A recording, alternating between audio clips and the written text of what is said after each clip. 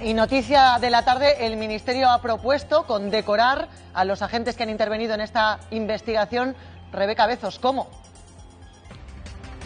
El Gobierno ha propuesto condecorar, como dices, Mamen, a los 46 agentes que han participado en la operación. En concreto, se entregarán seis cruces rojas y 40 blancas. La decisión se ha tomado en una Junta Nacional de Policía presidida por el ministro del Interior, quien, palabras textuales, ha dicho se conceden por su gran esfuerzo, total entrega y profunda profesionalidad. Gracias, Rebeca. Mientras tanto, los registros en esa vivienda continúan más de 10 horas